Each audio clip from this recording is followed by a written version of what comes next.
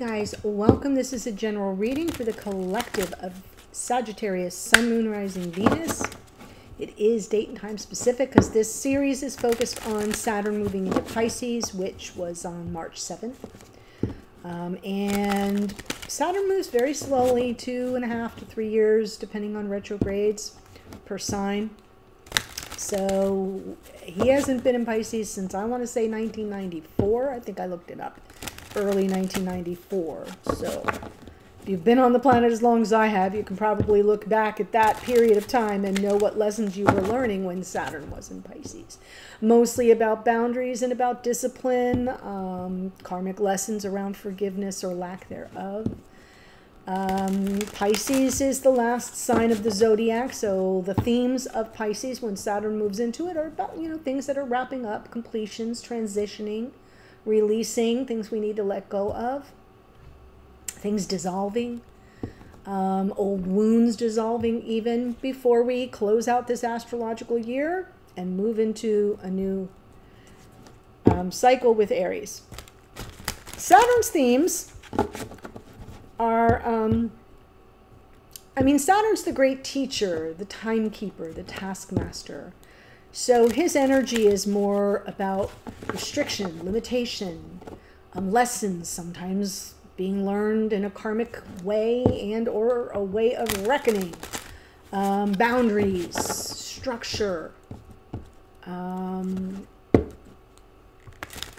like I feel with Saturn and Pisces, Saturn, which rules Capricorn, which is an earth sign, comes into Pisces and starts building dams, right? And it kind of interferes with our natural flow. We want to be in flow when we are in Pisces season, and Saturn moving in comes in and says, Get your head out of the clouds, figure out a way to be more spiritually disciplined, to walk your talk, and to anchor. Like it's grabbing us by the ankles and pulling us back down to earth and saying, Show me what you got.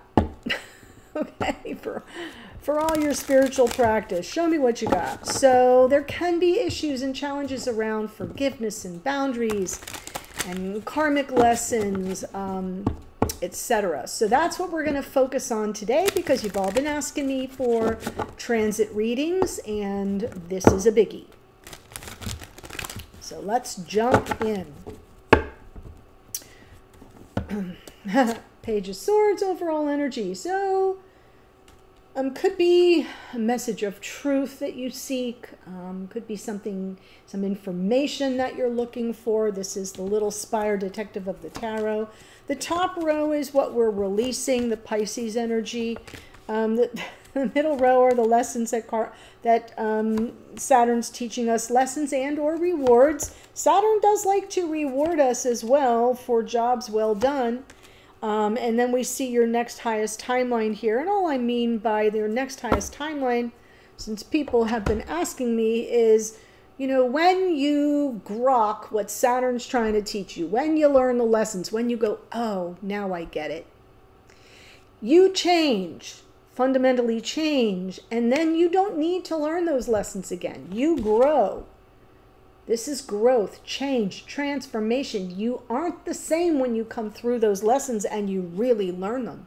And so you have a new beginning in your next highest timeline. And maybe this is your energy, Sag. Maybe you kind of are lit on fire. So I'm feeling like your next highest timeline. I am looking at it right here on face value, just from the you know the main spread. It looks pretty positive. So what do we have to release? What do we have to let go of?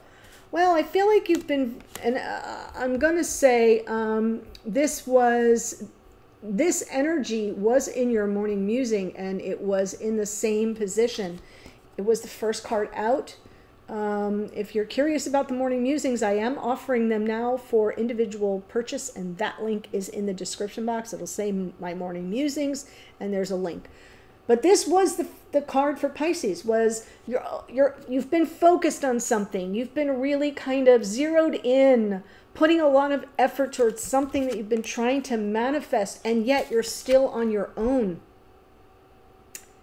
And we know King of Swords is who we're talking about um, as he shows up in almost all the Sag readings. If you're new, welcome. I'm going to refer back to past readings Um, so if that piques your curiosity, there's a Sagittarius playlist. But there's something you've been dedicated, hard at work, trying to focus on how to manifest it, and it hasn't worked. So you're being called to release that, to continue on your own path. And then Saturn's going to focus on this King of Swords and the Seven of Pentacles, which also comes out frequently in your reading, Sag. I know, because y'all come into the comments and say, do not show me the Seven of Pentacles. Do not show me the Wheel of Fortune. Do not tell me I have to be patient. Do not show me the Temperance card. Y'all tell me all the time, stop telling me to be patient, but there it is. Planting the seeds and waiting for things to unfold organically so you can have the wish fulfillment. It's just a thought. it's just a thought.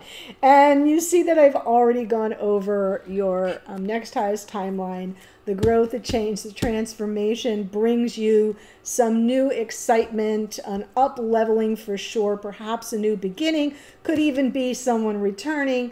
So I'm, I'm not going to um, count our friend the King of Swords out. Let's look at the Page of Swords.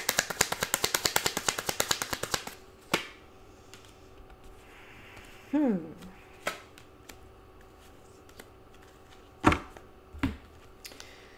Well, um, very interesting. I'm feeling like there's something you're not sure. This is the curiosity card. Remember, uh, should I hold on to this? Should I let go of this? Right?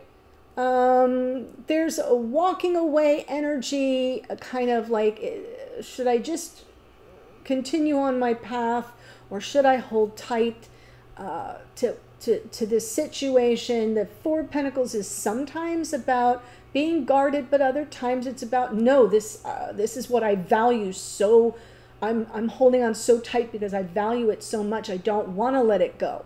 So I feel like that's the question being raised here. That's um, the information that you seek right now. And underneath is the Queen of Pentacles. And to me, this is just talking about your vision of yourself as life partner. Um, the Queen of Pentacles is about self care. It's almost like you're coming and saying, What's going to serve my highest good here? Hmm, let me think about that. Well, I'm, I'm feeling like you're being guided to release something you've been very hyper focused on manifesting for quite some time. So, if that clears up your confusion. So, let's look at the Eight of Pentacles and the Magician.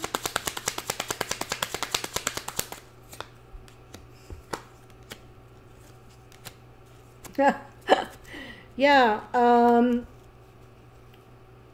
it's definitely had you stuck for a long time. There's that Seven of Pentacles. I feel on some level energetically, you've been almost. I feel like some loss of hope, but there's some kind of maybe I'll pull out a miracle. Maybe there'll be a miracle. Um, but that star with you know the frantic focus of the eight of pentacles and the star and then that eight of swords almost like i can't move forward. I can't like nothing's happening. Everything's just stagnant. And there's a lot of second guessing of oneself with the eight of swords um, overthinking things being filled with doubt self-doubt even I kind of feel like the whole patience portion of the Seven of Pentacles is going to be revisited. But for now, like release the tension with regard to um, what you've been trying to manifest. Let me look at the Nine of Pentacles.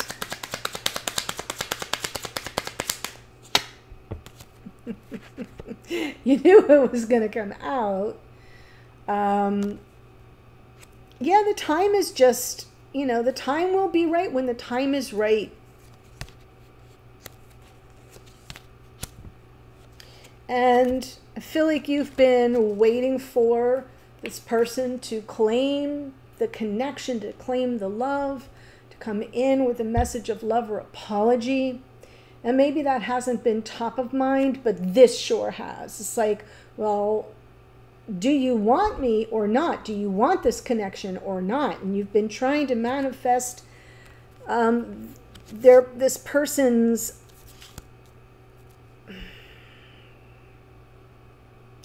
desire. And they're like an unavailable lover for whatever reason. So, therefore, the wheel doesn't move, and the frustration builds, and the loss of hope, and, and, and. So, now you know what you're releasing. Let's look at what Saturn is asking you to focus on.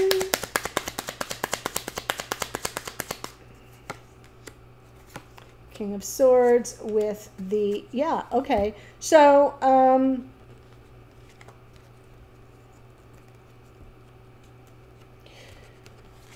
the Nine of Cups is coming through to me as this King of Swords complacency, meaning like the pain, the, the painful ending is coming through. Um, it's not that it's going to be a new painful ending. I feel the release of everything brings on the finality of it all and the pain that's associated with that. And I feel like there will be this energy with the Two of Pentacles underneath, uh, like of you feeling torn. And Saturn's telling you, wait, give it time. All will be revealed. Give it time. And I have said that maybe, maybe a hundred times over the past few months, Sag. Have I not? And it's, you know, it's not an easy lesson. Please trust me. I know what of I speak. Um, but I feel it's been incredibly painful for you. And I'm seeing this Nine of Cups again, so I want to look at that separately to get the flavor of it because over here it feels like complacency on the part of the person you've been patiently waiting for. Um, and Saturn in Pisces is saying, let, let it go. Like, let it go. There's a darn Page of Swords, Queen of Swords, Five of Pentacles. Okay. So I feel like Saturn is going to reward you with the clarity, with the truth, that this isn't about you. Five of Pentacles underneath. Sometimes in our unconscious awareness, we feel like, are we not good enough? Why is this person devaluing me? Um, are they avoiding me? Why are they not speaking? Why have they blocked me? Or are they not answering? Why are, you know what I'm saying? All the whys, and it calls into question our own sense of worth and value. And I feel like Saturn rewards you with clarity around that, helps you see things um, that don't serve you. And she's looking right at that Five of Pentacles and cutting it out. So there is an energy here of complacency that I feel in, has existed in the connection, not on your part, on your person's part. And that holds true even if you're a cross watcher, because I'm speaking to those of you watching. And I'm not reading about your person with someone else. I'm always reading for those who show up. Your energy is what I'm playing off of. Um, so I'm feeling like this person has been complacent and all that means is, you know, the saying shizzer get off the pot kind of energy. This person doesn't get off the pot. And they kind of feel that they have endless amounts of time to work with. And you're sitting over here, right? Like, what the actual F? Why is this? Why is nothing happening? Why am I in this prison? I feel like I'm captive. Well, it's a self imposed prison. And Saturn's telling you you're going to see things clearly and you're going to know it's time to cut that right out of your life because it isn't about you. It isn't about your worth and value. And this is more a character statement about this person and their complacency, their contentment with their lot in life and how things are. Um, and you have not been content with that. You've been trying to manifest something more and in 3D and it hasn't occurred. So that's the shift. Now in your next highest timeline, especially when you cut this out and you finally let it go, the rewards come in. So let's look at Death and the Ace of Pentacles. Yes, forward motion. There's the Divine Feminine, all the healing that comes in from this growth and change and transformation. You will be headed in a brand new direction. Doesn't mean it won't be with this person. Um, we'll get to that Knight of Wands in a minute.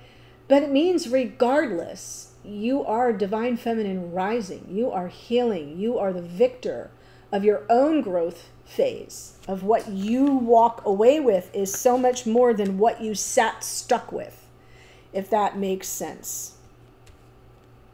And now I want to see the Ace of Pentacles with the Knight of Wands. King of Pentacles, Devil, interesting, and the Eight of Pentacles. Wow. Um, well, first of all, this is Capricorn, ruled by Saturn. And I'm feeling like there's this new beginning uh, with someone who shows up for you in 3D and you're actually working through the karmic energy. I do feel it might be this person returns and prepares to stay. So, why is the devil here? Devil is ego. Um, devil is control. It's tied to that Saturnian portion that wants us to kind of learn and grow and discard shadow, like work through it, heal it. That's why you have the Four of Swords, and then discard it um, and grow from it. So there will be karmic energy you will be working through and focused on because they return and give you the opportunity to do so, if that makes sense.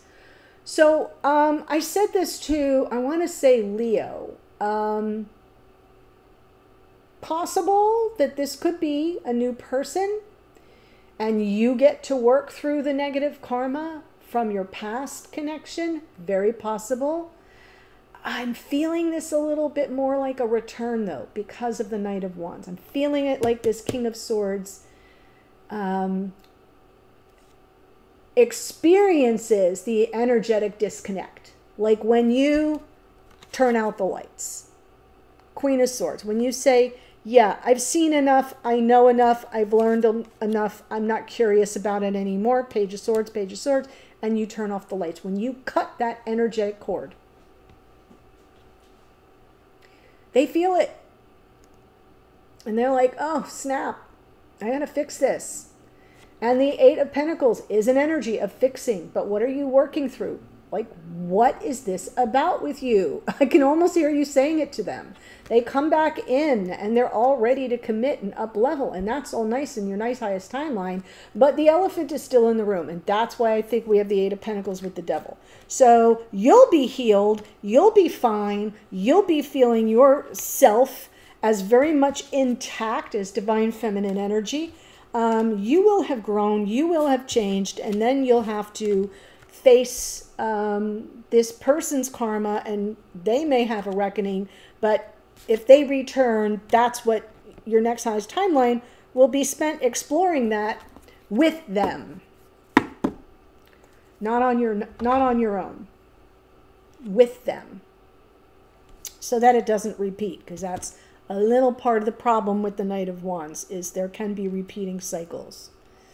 I know, but at least you see yourself as whole and ascended in your next highest timeline. Thank you, Sag for joining me. Let me give you the astrology that showed up here. But before I do, do that, there is a link in the very first sentence of the description box that will take you to the extended.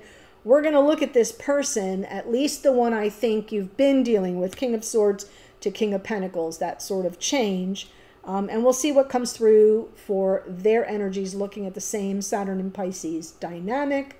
Uh, here we go. We've got the Page of Swords out twice. That is Gemini, Libra, Aquarian energy. Queen of Pentacles is um, Capricorn.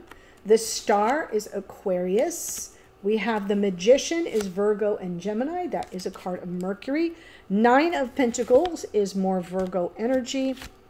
Sagittarian energy. This is Jupiter in the Wheel of Fortune. Leo in our King of Wands here. Um, Page of Cups, Cancer, Pisces, Scorpio. King of Swords is Aquarius. Queen of Swords is Libra. Scorpio in the death card, Cancerian energy in your chariot here. Um, Taurus and Libra in the Empress, that is Venus, of course. King of Pentacles is Taurus, the one with the staying power. Capricorn here in our Devil. And more Sagittarian energy in the Knight of Wands. That's what I've got for you. The link to the extended is below. I'll see you there in a second.